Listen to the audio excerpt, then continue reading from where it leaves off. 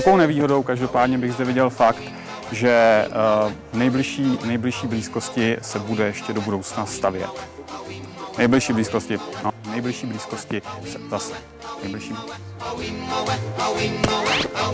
Mám mluvit o tom, že tam jsme teď. No. Teď jsme byli. Teď jsme byli. No. Prošli jsme si.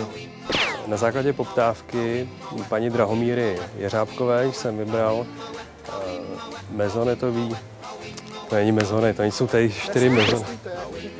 A samozřejmě i fakt, že zde není elektrika. To znamená, že... Pardon, není zde plyn. Já už jsem z toho úplně... Byla bych moc ráda, kdyby naše nabídka vaše klienty právě zaujala.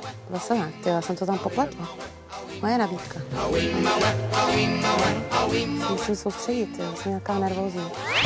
Uvážliví bychom měli být i při výběru lokality, tak, aby byla dost dobrá. Mám pro vás připravený rodinný nízkoenergetický dům. Hotový.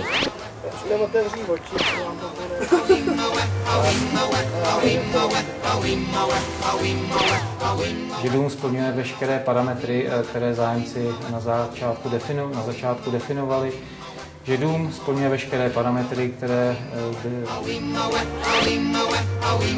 Ahoj Petře, eh, zdravím tě z místa, pardon, Společné prostory působí poměrně dobrý, že jo, s těma dveřma. Pro Honza, Honzu a Lucku jsem připravil, uh, co mám říct, jako dům. Ahoj,